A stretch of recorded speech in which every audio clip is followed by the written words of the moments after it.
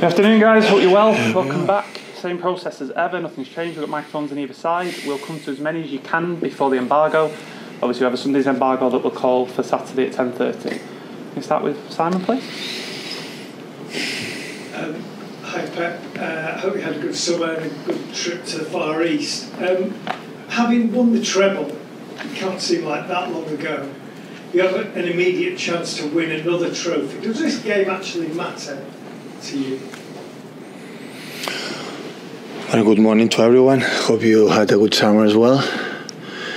Did you have holidays or not yet? Small one. The small ones. So normally when you won the titles that we won, they give you the chance to, to fight for a new ones, especially this Community Shield. The last three years we played, but against Sevilla and in next weeks and and uh, in Saudi Arabia in the winter time. So give you opportunity to play it once we are there. Of course, we are going to try. Now know how we are right now, the situation that we are. So we finish two weeks later than Arsenal. We start two weeks later than Arsenal. So we are not in the best best way. Always we we struggle to restart every season. But it's a final, hopefully our mentality can help us to be there and and compete like we have to compete against them and try to yeah to win the title.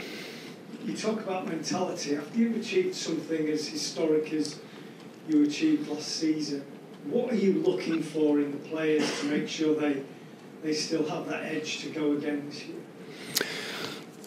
I would say that I don't know. I would say we are going to see, but at the same time, every preseason, always when we won the quadruple or we won the Premier Leagues in a row, two three times, always we think, ah, the players will be dropped, the players will not be ready, and the players were ready, and everyone was ready. Uh, I think will be highs and lows. I think my feeling for experience in the first part of the season have to try to avoid to drop too much to don't let the opponents especially in the premier league on the first stages in the champions league you know run away uh, but uh, in terms of i know except mateo that arrived the, the other people i know them quite well and i know i know they are incredible competitors and we will push each other we will challenge each other and i'm i'm sure that we'll be there Can I just ask you about the situation with Gvardiol and also Kyle Walker and Bernardo Silva? That there's been a lot of talk about those two maybe leaving. Well, regarding uh, Gvardiol, what a beautiful surname he has. Um, regarding him, uh, he's doing a medical test, so everybody knows uh, he's here, and hopefully we can finish the deal in the next hours, next days. And uh, and regarding uh, Kyle and and Bernardo, what could I say? So they are so important player for us. We want him yes, yes or yes.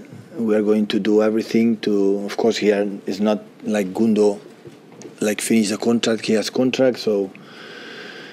But we want him to stay because he want to stay, uh, and yeah, we will do everything because replace these two players uh, is so so difficult. We lost two incredible players for us, like Ilkay and Riyad, like in the last seasons were massively important, incredible goals, assists, and personalities in the big stages and big important games.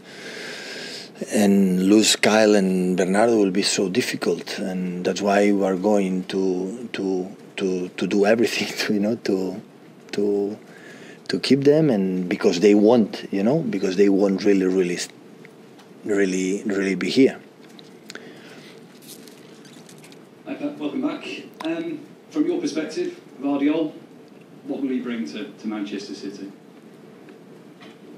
let me it's medical test so let's finish when it's done i will give my opinion Um, are you done? If, if Gvardiol comes in, are you done in the trans, transfer market? Is that City's business done? Or is there- uh, i don't know i think he's going to move something yeah it's not yet Uh, the season started today, I mean, it starts on Sunday really for City. Are they ready? Are they ready to go? Are you happy with everything? i'm happy for everything yeah definitely But uh, what I said before, still we need, like I think all the teams, not just Man City. But the, the reality in this period, one week of work helps a lot, but we cannot forget it's 11 months, so start to don't get injured and add training sessions day by day, weeks by weeks, and game by games, the players will, will get the, what we need. Um, Uh, hi, Pep. Um, can I pick up on Gvardiol coming in? Because assuming the medical goes well on your side, Assuming. assuming. Yeah, w- wait. I'll call Guardiola, and I promise you. So, but not now because I'm not allowed to do it for the club. So, My point That's was the point. though, assuming he comes in, that will give you six central defenders. the season the season is so long. So there's many many games. That's not too many to have. No. Absolutely not. And picking up on what Simon was asking about Bernardo Silva as well, because it feels like it's been a, lot of summers. I think it's three in a row now where we've had talk about his future, is there reported interest. Do you, do you, as with other players, have a gentleman's agreement with him that if an offer comes in that matches your valuation? For the day one, Yeah. yeah. For, I want to clarify that because I know the reports from Barcelona make my word what I said. I said for the day one until the end. I don't want any player that I want to be here. So, but but uh, I am employee. This is my opinion. I want to work with the guys. Like want to stay on my decisions. I want to work with the staff or backroom staff or the players. But after that, we had to get an offer. And we didn't get an offer, a proper offer. I would say I didn't get an offer. So that's why, what could I say? Is our player, we want him. And if they want it, they will take a plane, they will come here, they will talk with our sport director, with CEO, to arrive in agreement because both parts or three parts, they have to be, even not for the wish, I give the word, it's over. So when we want to go everywhere to buy a player, just uh, for be Man City, it's 10, 15 million pounds more expensive than the other clubs. All the time it's like that. So, and the same guys, when they want to play as important players for us, because they are really, really important players, first they have to, you know, to make an offer. And didn't happen. And when that happened, it's going to stay, and we fight to extend the contract to be to be with us. It's simple as that. All, the players happen since day one. Is that what it takes then? Because you, speak about, when you're answering Simon earlier, talking about trying to convince these players to stay. They have to want to stay, and you will do everything you can to Yeah. help, you know, make them make that decision. What, what can you do? What is it? Is it about conversations? It No, it's, it's, it's many cases. So we cannot forget the situation are completely different each each year for the different one. When you want the travel, it looks like the job is done. And the players, most of the players with 32, 33 years old, like Ilka, El Riyad said, you know, we arrive here to win the Premier Leagues, and after all the people asking about the Champions League, will not be complete. If we don't win the Champions League, and all, uh, some players feel, okay, I want a new experience. I, I will not be the guy to say no, no, no for the contract. But at the same time, you have to be taking agreement with the important part of the club, and the club is not me; it's the business. The you know, make a deal uh, happen. And and in the cases, so of course, in that case of Bernardo Cal, we talked many, many, many times the last month, even years, how important it is for them for us, how we want him yes or yes, and we continue to do it until the end, you know, until the end. What's going to happen? So I don't know, but it's not going to happen if the both clubs don't arrive, because they are a massive, massive important players. Because when we lost this type of players, we have to go to the market to buy the replacement. And with this type of player, doesn't cost 10 millions, 20, 30, 40, 50. no, it's more expensive than that. And you know, we need that money as a club to reimburse for another players to make the team as much stronger as possible, to defend the crowns that we want, and, and be, you know, play good, win a lot of games for our people. It's simple. It's not, I would say, more complicated to understand it. Arsenal have signed uh, Declan Rice this summer, obviously for a, a huge sum of money. He was a player that you were perhaps interested in. There were reports that you were interested in him. How disappointing were you to miss out on? Absolutely not. Declan Rice decided to go to Arsenal. The offer was incredible, and all the best because I think he's an important, really important player. I think he's a very nice guy, and for the national team, England national team, is and will be important. And Arsenal bought an incredible, incredible player. And just one more, Pep. Um, it's been announced today you've got your former assistant coming back, Juanma. Yeah. Uh, that's uh, good news for you. Absolutely. Absolutely. Juanma is the best assistant coach you can have in the bad moments. And you have to find the people close to you in the bad moments. In the good ones, I don't need anyone. Just open the champagne to celebrate together.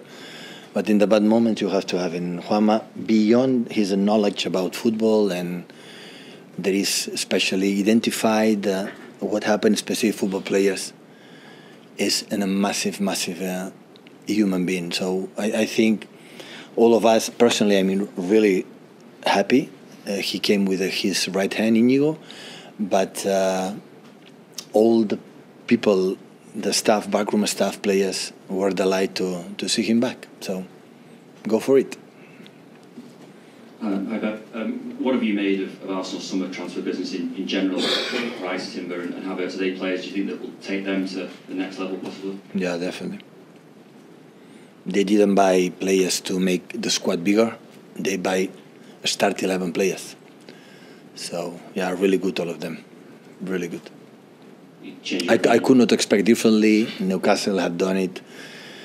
Um, Liverpool a bit less, but I think with Henderson and Fabinho gone, I think it's going to do. They're going to do the market again, and United do it again. So it's normal. So every season, every season, the, the teams, the teams want to do the team better, not just not just Man City. You said in the past before season start, because of your history, that it's always Liverpool viewed as the main challenges. Do you think Arsenal maybe have replaced Liverpool now as your, as your main challenges to? Arsenal with uh, Arsene Wenger installed the club in that position that I I'm very happy that uh, he got the statue of the place in an Emirates Stadium what Arsene Wenger deserved because a part of the title that was more or less it doesn't matter is how he changed many things in the English football I would say the influence of Arsene Wenger in this football was massive one of the greatest, maybe the greatest in the terms from come from aboard and bring something new that maybe was not here, and install a culture that uh, that he was. Maybe the last year drop and Mikel bring him again in the position Arsenal was all the time. So everybody knows that. Uh, if you start every season, I say the same, but that is my feeling. So it's not uh, one or two. There are a lot, a lot of teams. They are going to to to fight for everything and and the challenge is massive for us. So how we'll be able mentally and how we can grow as a team in the football wise and sustain that level. So it's almost impossible. You cannot win more that we want. But the challenge is that how starving still we are, how hungry still we we are, how have desire still to defend what we want, and and yeah, we will see. We will see during the process, the 11 month, in the lower moments that we'll have uh, many of them, I would think more than ever, for the fact we won, how we overcome and come back in what they have to be. Okay. Call the embargo for 10.30 on Saturday.